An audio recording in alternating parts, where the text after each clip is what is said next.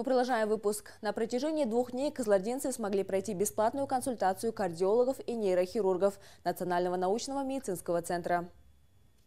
В областном диагностическом центре принимали пациентов кардиохирург, аритмолог, кардиолог, врач функциональной диагностики и нейрохирург. После осмотра давали обратившимся свои рекомендации по дальнейшему лечению.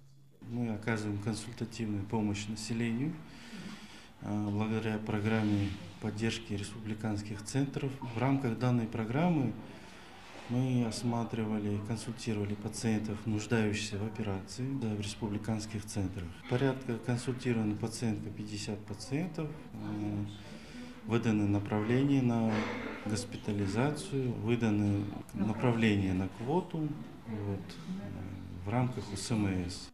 Женескуль Исабековой 75 лет. Бывший медработник отработала в поликлинике свыше 40 лет. Пришла на прием к нейрохирургу. Пришла на прием к нейрохирургу Муралу Астаубаеву. Он посмотрел мой снимок МРТ, поставил диагноз, направил на лечение. Врачи очень грамотные. Мы довольны. Пусть почаще приезжают и проводят такие консультации.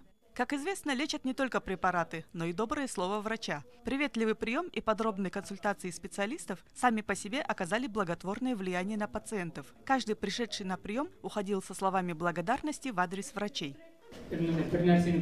Когда начались боли? После того, как поднял какую-то тяжесть?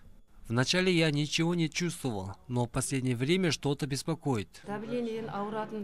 Меня давно беспокоило артериальное давление. При обследовании выявили болезнь сердца. Сегодня побывала на приеме у кардиолога, который дал направление на операцию в Астане. Огромная благодарность врачам, которые заботятся о нас и о нашем здоровье.